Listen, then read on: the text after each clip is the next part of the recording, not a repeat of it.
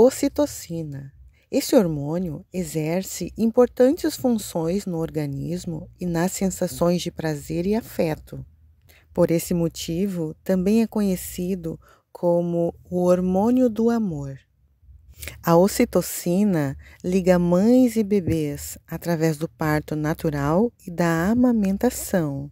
Mas a ação da ocitocina no cérebro humano vai além das funções reprodutivas. É o hormônio das relações que torna a pessoa capaz de se doar por outra, de se agrupar, de se socializar. É o hormônio do altruísmo e da honestidade. Esse hormônio está associado a muitos dos nossos gestos de carinho, como os abraços. Sua fama é bem merecida. Trata-se de um achado científico muito valioso, que confirma uma coisa que todos sempre soubemos: que os abraços confortam, curam e tornam a vida mais feliz.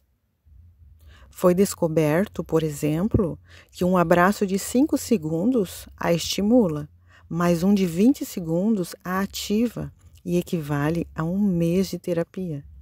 A ocitocina é um hormônio que é principalmente ativado através do contato físico, como uma palavra afetuosa ou mesmo um tapinha no ombro. A indústria farmacêutica permite que possamos aumentar os nossos níveis de oxitocina através de fármacos, mas por que se privar dos abraços e dos beijos? Eles são gratuitos. Lembre-se: um abraço é remédio. A sabedoria é a coisa principal. Adquire, pois, a sabedoria. Sim, com tudo que possuis, adquire o entendimento.